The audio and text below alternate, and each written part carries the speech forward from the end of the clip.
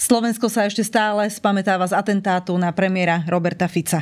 Poďme si situáciu v politike, spoločnosti aj v médiách rozobrať s expertom na komunikáciu, kreatívcom, majiteľom agentúry Slovágen Friends, Robertom Slovákom. Vítajte u nás opäť. Ďakujem za pozvanie. Ako zvládli komunikačne prvé chvíle po strelbe v Handlovej z vášho pohľadu politici? Rôzne. Videli sme prvú emotívnu tlačovú besedu alebo vyjadrenie, vyhlásenie pre tlač z parlamentu kde Andrej Danko a pán Blaha komentovali veľmi emotívne, čo je prírodzené samozrejme, ale aj veľmi negatívne, hľadajúc nepriateľov, ukazujúc na to, na ľudí, ktorých podľa nich to zavinili celé, že v tomto prípade toto hodnotím negatívne. Ale následne už tlačová beseda napríklad pána Kaliňáka, Šutaja Štoka už bola úplne niekde inde v snahe upokojovať situáciu. Tam to hodnotím oveľa, oveľa lepšie. A samozrejme to gesto, ktoré potom urobila pani prezidentka a pán Pellegrini, spoločné vyhlásenie, podanie rúk, snaha o upokojenie situácie, to bolo podľa mňa najlepšie zvládnuté. Z týchto politikov, ktorí ste spomenuli, prekvapil vás niekto zásadne? Že, ako, že zmenil retoriku, ktorú sme poznali za posledné mesiace? Prekvapil ma veľmi pozitívne Peter Pellegrini, ktorý sa snažil dlhodobo vystupovať ako, ako zmierňujúci prvok na scéne aj v tej koalícii. Samozrejme počas tých prezidentských volieb eh, tiež neodolal a mal niektoré také ako keby radikálnejšie a negatívnejšie vyjadrenia, ale teraz je to ten Peter Pellegrini eh, taký, ako sa aj snažil byť a aký by aj mal byť, takže veľmi pozitívne hodnotím jeho prínos do, do tejto napätej situácie. Andrej Danko a Luboš Blaha, toho, tých, týchto dvoch ste už spomenuli. Uh, čo ste vyčítali z ich vyjadrení? Vyčítal som trošku paniku, a vyčítal som z toho to, že, že pokračujú alebo sa snažia, oni už majú tak zautomatizované, typujem pri pánovi Blahovi, už to tak funguje veľmi automaticky, že ako náhle je nejaká príležitosť na niekoho zautočiť, do niekoho si kopnúť, niekoho spraviť nepriateľa alebo terč, tak ju využíva a v tomto režime išiel aj v tejto situácii. Uh-huh. Andrej Danko? Tam bolo to isté? Tam je to veľmi podobné, ale myslím si, že tam to nie je až také prešpekulované ako v prípade pána Blahu. On je jeho taký spontánny, spontánny e, výlev a v rámci jeho možností a mentálneho sveta ma to neprekvapilo nejak. Ako by sme mohli analyzovať uh, tieto, um, tento komunikačný stav v politike? Asi musíme myslieť na to, že Robert Fico pre týchto ľudí nie je akoby v úvodzovkách iba že predseda vlády, ale je to ich priateľ, s ktorým sa stretávajú denne, poznajú sa dlhé roky majú nárok na určité prešlapy komunikačné, alebo ako to vidíte? Nárok. Tak e, všetci sme ľudia, všetci sme omylní a samozrejme toto je veľmi extrémna, veľmi vypetá situácia, ktorú sme nielen na Slovensku, ale ani v Európe už nezažili veľmi veľa rokov. Čiže samozrejme, že e, tie emócie alebo tie chyby v tej komunikácii môžu nastať, je to úplne prirodzené. E, všetky ale aj prešlapy, aj chyby a emócie sa dajú časom korigovať, dá sa priznať si možno chybu, dá sa nejakým spôsobom zmierniť retorika, dá sa otočiť potom tá emócia a aj, aj zmeniť názor je úplne akože, že, že správna bežná vec na základe nejakých nových informácií alebo na základe nejakej spoločnej diskusie aj s inými partnermi. Takže očakávam v tom vývoj. Mm-hmm. Pre mňa si najhorší bol pohľad z hľadiska komunikácie na parlament pár minút potom, ako Ľuboš Blaha z pozície podpredsedu parlamentu vlastne oznámil plénu ano. parlamentu, že čo sa stalo to vykrikovanie poslancov a obviňovanie jeden druhého bolo až nechutné? Ako ste to vy videli? Áno, veľmi podobne, ale zase pri tom parlamente už je nastavená tá latka tak nízko, že to vykrikovanie a, a nadávky, alebo až také akože snaha o nejakú fyzickú konfrontáciu, blokovanie sa navzájom, alebo potom také tie, tie, tie, tie výmeny názorov aj mimo mikrofónov sú už takým, takým dennodenným bežným štandardom žiaľ, že v tejto napätej situácii to nebolo nič prekvapivé. Práve naopak teraz som tomu viac rozumel. Uh-huh. Už v ten prvý večer prišiel, spomenuli ste aj vy ten pragmatický briefing ministrov Kaliňáka, Šutaja, Eštoka. Uh, hovoríte, že to zvládli podľa vás celkom dobre, ten briefing. Uh, môžu byť práve títo dvaja ľudia, jeden z hlasu, jeden zo smeru, tí, ktorí určia tú úroveň komunikácie vo svojich vlastných stranách a budú apelovať na svojich ľudí? Očakávali by ste to možno od týchto dvoch priamo? Ja si myslím, že áno, že tam je veľmi veľký potenciál v tom. Bolo na tých prvých stretnutiach alebo prvých briefingoch vidieť, že sú, že sú v šoku, že, že je, to, je to veľmi neštandardná situácia pre nich a už potom pri druhom vystúpení následnej tlačovej e, besede to už bolo oveľa, oveľa racionálnejšie, oveľa zmierlivejšie, aj keď samozrejme nedokázali sa vyhnúť niektorým, niektorým narážkam alebo niektorým útokom. Ale keď si to tak rozdelíme na tieto skupiny, ako sme sa bavili, že pán Pelegrini s pani Čaputovou veľmi upokojujú situáciu, naznačujú, prezentujú to zmierenie a prezentujú to ten jasný cieľ, ktorý si stanovili, že, že tá spoločnosť sa nemôže ďalej vyhraňovať, ale upokojiť.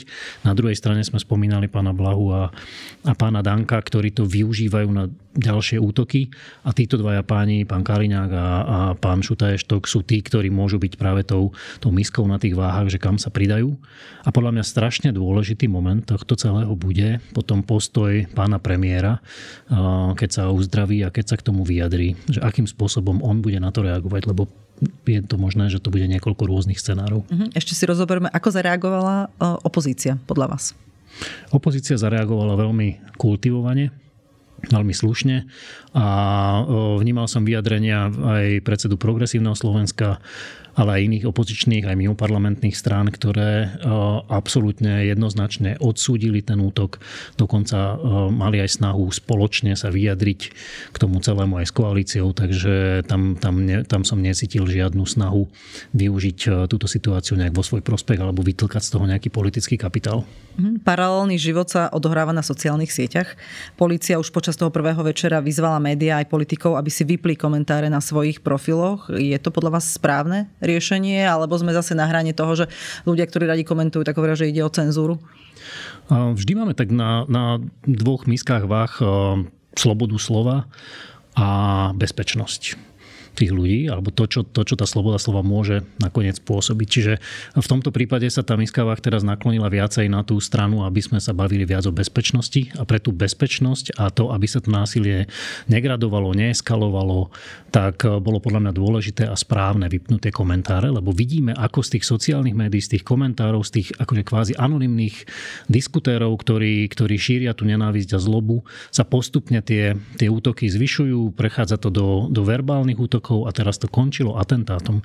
A niekde na začiatku boli tie sociálne médiá v tom rozduchávaní nenávisti, teda zohrávali veľmi silnú, intenzívnu a vážnu úlohu.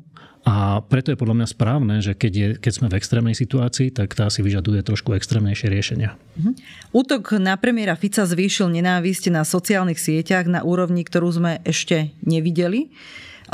Náraz toxicity v slovenskom online prostredí bol až o 60% vyšší. To sú alarmujúce čísla, ktoré priniesol CEO spoločnosti Elf AI, ktorá sa zaoberá moderovaním obsahu na sociálnych sieťach Jakub Šuster. Čo si o tom myslíte? No to je presne ukážka toho, alebo potvrdenie toho, že vypnuté komentáre je správne, uh-huh. lebo, lebo samozrejme každá akcia vyvoláva nejakú reakciu Takže keď sa tá, tá miska váh tej, tej nenávistnej e, komunikácie až prejaví takýmto fyzickým útokom, tak je jasné, že aj z druhej strany sa to preváži potom akože oveľa do agresívnejšej podoby. Takže rozumiem tomu, je to samozrejme, že desivé, ale, ale chápem, že, že, sa, že sa to udialo v rámci reakcie na, na atentát na premiéra. Takéto niečo, tu myslím, že 38 rokov v krajine, ktorá patrí do Európskej únie, nebolo Takže je to, je, to, je to na jednej strane pochopiteľné, na druhej strane desivé a, a musíme s tým niečo spraviť všetci. Človek by možno očakával, že takáto chvíľa, v takéto chvíli sa ľudia nejako zreflektujú sami seba a povedia si, že halo, že to, takto sa nemôžem vyjadrovať a práve naopak. Že ešte to, ešte to rozduchalo ďalšie vášne. Toto boli prvotné reakcie, to isté, ako sme sa bavili o tom, že čo sa udialo na začiatku v parlamente.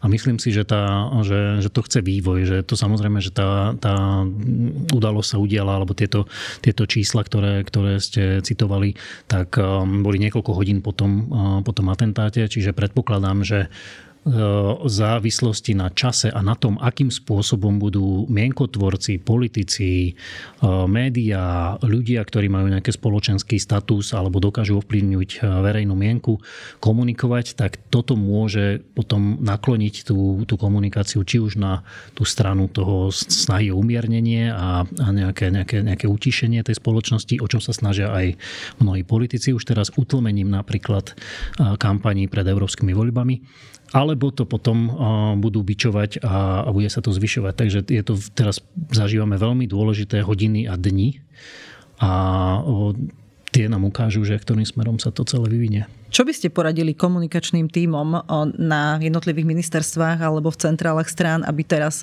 ako apelovali na svojich šéfov, na svojich lídrov? No je hrozne dôležité nezneužívať tú situáciu, nesnažiť sa z tejto tragédie vytlkať politický kapitál, snažiť sa e, o presný opak, snažiť sa o to, čo sa snaží napríklad pán Pellegrini, o upokojenie, o nachádzanie toho, čo, e, čo nás spája a ne, ne, nefokusovanie sa na to, čo nás rozdeluje. A teraz naozaj sme tú, tú politickú diskusiu a tú, tú tú, tú, tú vyhranenosť e, doviedli do úplného absolútneho extrému, tak musíme obrusovať hrany a nachádzať tie, tie práve tie prieniky a nie tie, tie rozpory. V akej pozícii sú dnes médiá? Veľmi ťažkej pozícii.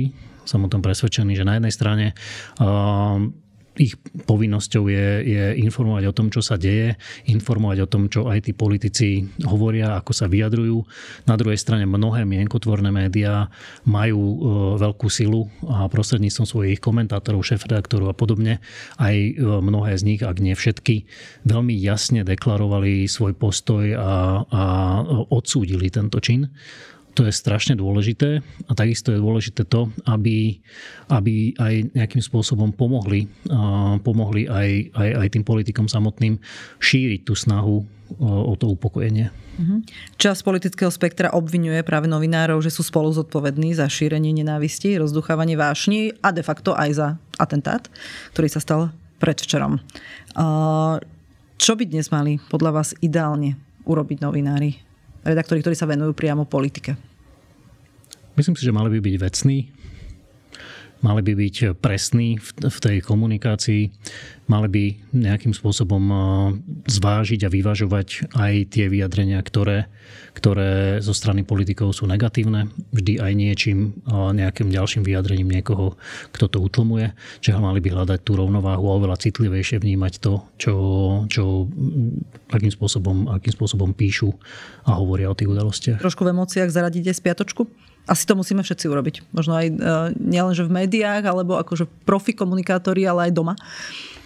Určite áno. Akože ja to rozdeľujem na také tri také úrovne. Jeden je ten najvyšší, o ktorom sme veľa hovorili, od, od pána budúceho prezidenta až po, až po, až po tých mienkotvorcov, redaktorov, alebo teda šéf-redaktorov tých médií. A ten, taká druhá úroveň je potom ľudia, ktorí majú nejaký, nejaký spoločenský status, ako sú tí, ktorí sa vyjadrujú spoločenským situáciám, ale sú mimo politiky, mimo médií, či už sú to osobnosti e, kultúrne alebo iné.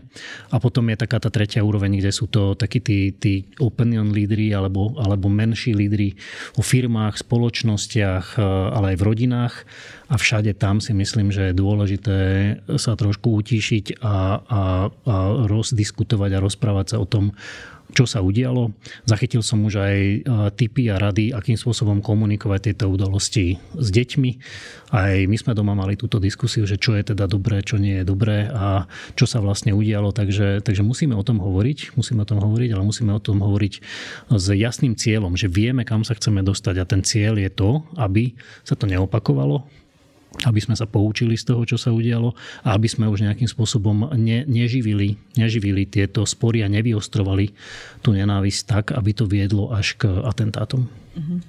Vy poznáte celkom dobre slovenskú spoločnosť, lebo venujete sa tvorbe reklamných kampaní, čiže stále máte na očiach dáta o tom, ako slovenská spoločnosť vyzerá, čo robí, čo chce robiť, čo číta, čo, čo sleduje, čo ju baví, nebaví, aké sú jej názory. Z toho, z toho to, čo máte aj o tých prieskumných agentúr a ako sa tomu profesionálne dlhé roky venujete, zvládne toto slovenská spoločnosť? Bez újmy? Určite to bude e, rana. ktorú si budeme pamätať, ku ktorej sa budeme viackrát vracať, ktorú budeme vlastne rozoberať aj v rámci historického kontextu o x rokov. Je to veľmi, veľmi podobná situácia, to je v niečom ako po vražde Jana Kuciaka a Martiny Kušnírovej, kde sme vlastne riešili to, že takéto niečo sme si nevedeli predstaviť, že sa môže udiať a teraz takisto sme si nevedeli predstaviť, že sa môže udiať atentát aj na politika. Medzi tým sa stala vražda na Zamockej, kde sme Medzi sa bavili stala, o tomto istom. Stala vražda na Zamockej, áno. A, a toto sú podľa mňa také momenty, ktoré, ktoré nejakým spôsobom formujú tú spoločnosť a môžu byť tým momentom, kedy sa pohne nejakým, nejakým trošku iným smerom a ostáva nám len dúfať a musíme všetci teda pracovať na tom, aby sa, aby sa pohla smerom, ktorý už nedovolí, aby sa niečo také zopakovalo. Mm. Ďakujem vám veľmi pekne za rozhovor, že ste prišli do stratégií, do nášho štúdia. Bol tu kreatívec, majiteľ Slovagen Friends, Robert Slovák. Ďakujem, Ďakujem za pozvanie.